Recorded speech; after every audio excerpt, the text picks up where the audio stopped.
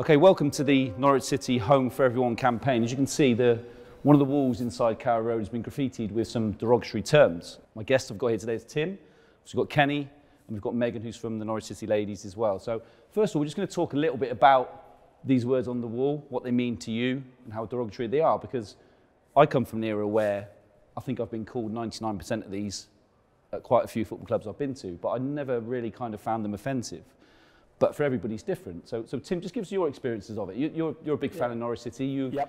you know, you've talked about your, your, your, your sexuality in the past, and, and Yep. so a lot of these are really offensive to you, I presume. Yeah, it's really interesting because when I look at the words on the board, um, for me, they're not words that I've heard personally a lot, but they are the reasons why I have difficulties in my life. So they're the reasons why I don't hold my husband's hand. Uh, they're the reasons why I'm not overly out with my sexuality when I start a new job, when I go into a workplace. It's not, uh, it's more the fear of those words and the rejection that those words represent than it is necessarily hearing those words them my- myself. Yeah. And, Kenny, in a football environment, we're not fearful of hearing these words at all. It's kind of, when you come through the process as a youngster, you kind of have to learn to deal with being called these types of things on the football field and, and and around it. It becomes acceptable almost, isn't it? You, you've presumably heard quite a lot of these in the change rooms on the field as well. Yeah, you, you hear them and it, it becomes a bit not normal because it, it's never going to be normal, but you, you don't take offence to a lot of them. I mean, some, some of them up there, you say you've been called most of them, and, I, and I'm the same, and you don't take it, you know, too personally, and people use them as throwaway comments, which, which is wrong, obviously, but as, as you see in this, in this line of work, they're used all too often, and, you know, it's something needs to change at some point. Meg, just tell us your, your experiences because if you look at male culture football and female culture football, it's almost homosexuality is almost accepted more in the female game, isn't it? And, and that do you find you, there's as many words like this being used? Um, yeah, so the female game, obviously, it's quite common. There's a lot of different sexualities, but I think that's quite, it's weird because that's quite the, the norm for us. So it's weird that obviously on the men's side of the game, it hasn't kind of, like, you know, Jake Daniels hasn't really come out. But the one that does make me laugh is you kick like a girl because I feel like if you see some of the, the women's players kick now, um, yeah, I think that's old school. But it is quite weird, like, seeing all these words because I think we've all heard it, especially at games. Yeah, that's what I say. Is people use them as a throwaway comment, which which is wrong because there's people that are affected in so many different ways, and because it doesn't affect us doesn't mean it doesn't affect other people in different ways. So that's why it needs to get stamped out more. Because if if even I'm saying you know they're used as a throwaway comment, then other people will, will just continue to use them because that's the way they feel like them, and it doesn't affect them the way that it affects other people. And I think that's the thing, Kenny, to be honest. It's, it might not affect you, it might not affect your mates and that kind of thing, but you don't know who's listening and you don't know who's around you and you don't know the effect that it has on them. So I completely get, yeah, it does, you have banter and of course you do. Uh, but sometimes it's about thinking about who else is around. So how, how Kenny, in opinion, how do you how do you stop that happening? Is it just a personal thing and hope everybody buys into it? Is it is it still a culture that within the club? Yeah, I mean, it will be throughout football, throughout life. You know, these words will get used, you know, on a daily basis on a number of, you know, not just football, right across the board. And I don't think it's something you can just say that's it done. It will take time and it will take people to stand up and speak. You know, if you hear it, say something, and maybe maybe the next time somebody will think twice about saying it. Because even though it's not affecting me, if I say to somebody like you can't use that or don't use it, the next time they're in my company they won't use it. So that can just be a domino effect with everybody, and maybe in time and hopefully it can kind of get cut out. Yeah. And is that a culture maybe they're trying to kick out of the women's game as well? Is is it frowned upon within the women's game, or is it still accepted? It, it can be different backgrounds. Um, I think, you know, I have heard the words used a lot, dyke and gay and lesbian, like throwing away comments at people and at girls and the change room. I think, like I said, you don't know how much it affects different people. Like there's some, you know, some girls, especially younger girls, who may not have come out yet and don't feel comfortable because they don't want to get those labels uh, where um, in that environment with others. And I think yeah, I think it's just educating people, especially the young generation. Like when I was younger in high school, I had most of these words in high school. Uh, I played for a boys' football team. I heard a lot of throwaway comments, and I think I was banned from playing for a football final once because I was a girl. So yeah, it's it's educating and just making you know them feel a bit more well, especially the younger generation. I think that's where they're still struggling. Yeah. I mean, do any of these become acceptable? Because I, I look at half of these and I think that was not too bad. is it almost a generational thing where you've got to be looking at those those younger people coming through the game and through society and to teach them a, a better way of using different words?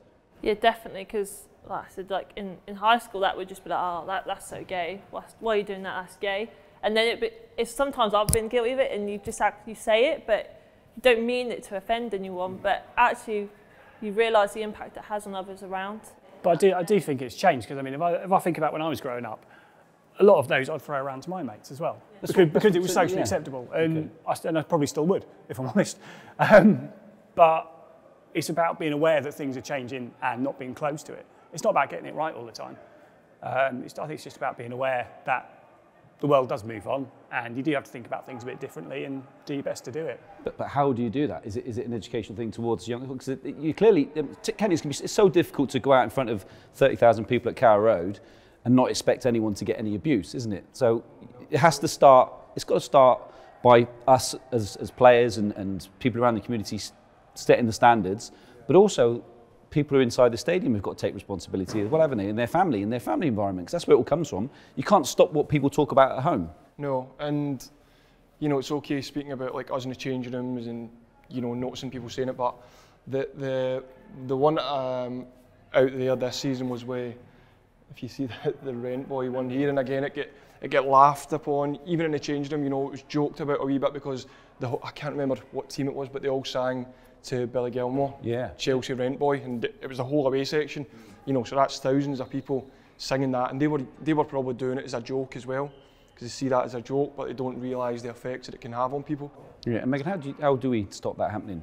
From, from your point of view, from the culture you're in, because I said before, I've got young daughters who love playing football, but I also know I've worked with sort of elder girls who are sort of 16, 17 and looking to go into senior women's football, and they've pulled away from the game because of the, they, they feel as if there's like a you know a, a lesbian culture within within women's football. Yeah, I think that's where women's football's changed a lot. It used to be quite a perception that you know you only you're, you're gay or you're gay lesbian if you play women's football, and I think that perception's changed over time.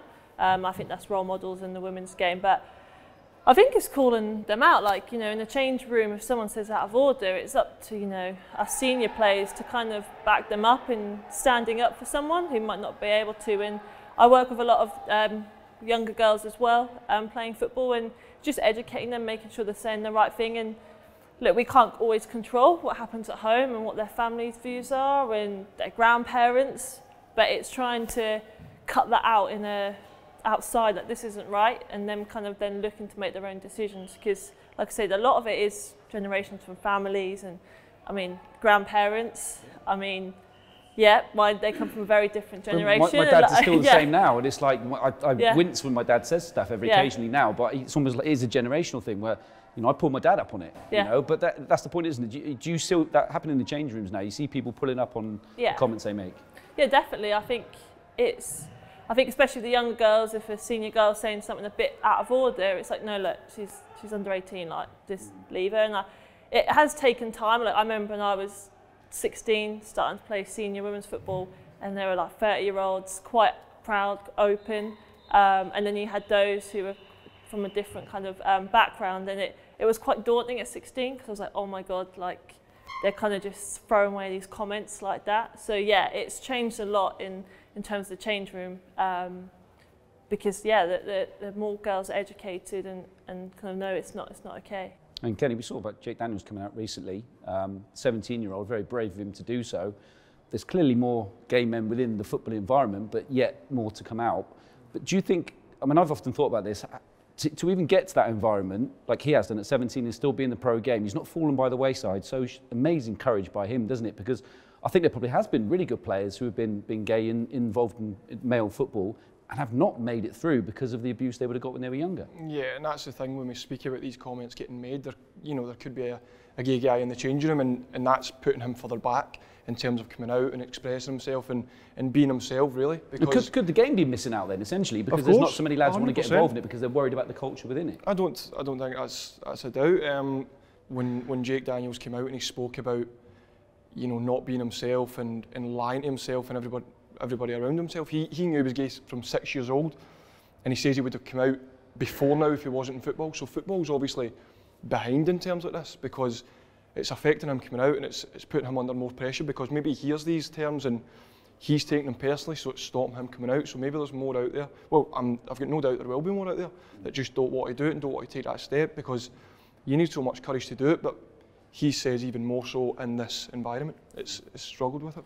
Do you, sorry, I was just going to do you think there's pressure on players not to? Yeah, I, I think there is. Yeah. I think there's. I think there's players that clearly in, who are in the game now who are who are gay but haven't come out because they're for the fear of, of being judged within the changing rooms, and that's that's the biggest fear I think from the players' point of view is being judged by your peers, isn't it? You can actually deal with the stuff that goes on around you because you learn to do that as a footballer as you grow up anyway.